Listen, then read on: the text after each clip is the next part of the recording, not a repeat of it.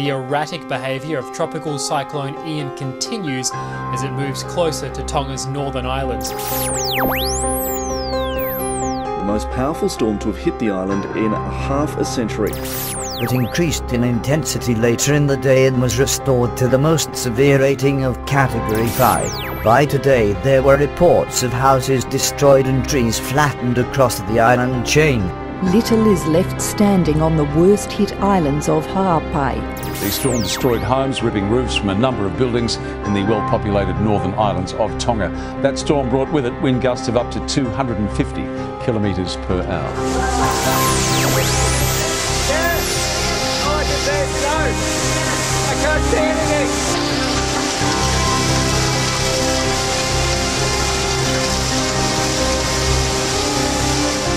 Officials in Tonga have confirmed one person has been killed as a result of tropical cyclone Ian, but they're unable to say if the death toll is likely to rise.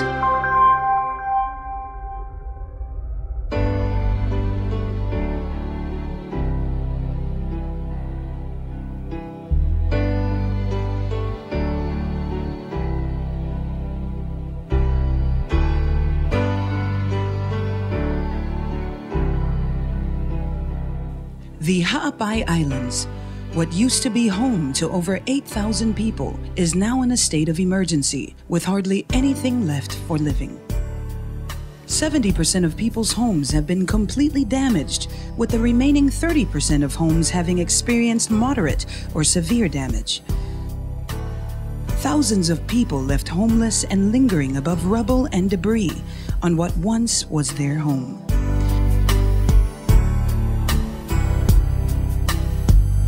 Ongo i ili fia pito. I mo i toksio en tam tuk toksio afa laibi. The most horrible thing was the noise we heard. And nobody knows is the, the others alive or dead. Ka mena mau ngoi lai ta. Mau sio ke mata mau whanki moko puna mau mau whanau. Kai ke iro pete mau toi unga ka. And please, um, if you have any help or help this poor island and the kids and our families around here, this is the situation here. We, I think in the next two months or next month or maybe two weeks, we need a lot of help.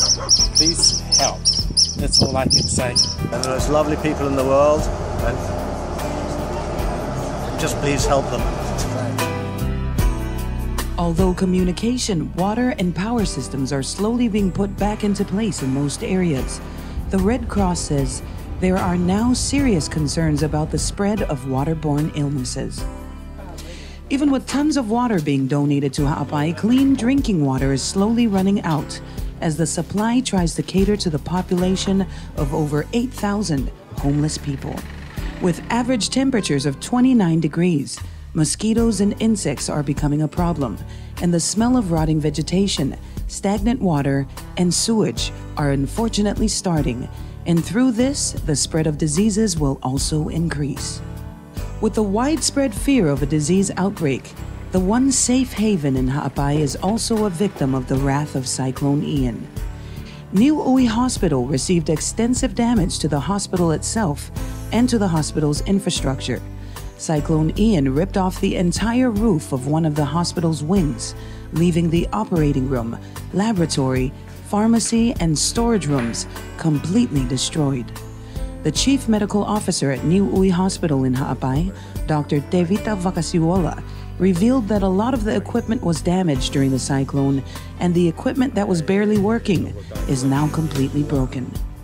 On a daily basis, the hospital is treating the victims of Cyclone Ian to the best of their abilities with the little they do have. And at the moment, um, lack of staff now. We have to work 12 hours each shift now. And the water, we have no water now and no light.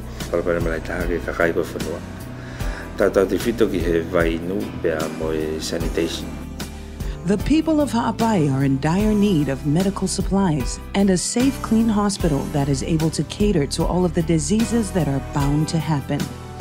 Help us rebuild what was known as the healing shelter and the birthplace of many. Help us rebuild Niu'ui Hospital. Help Ha'apai.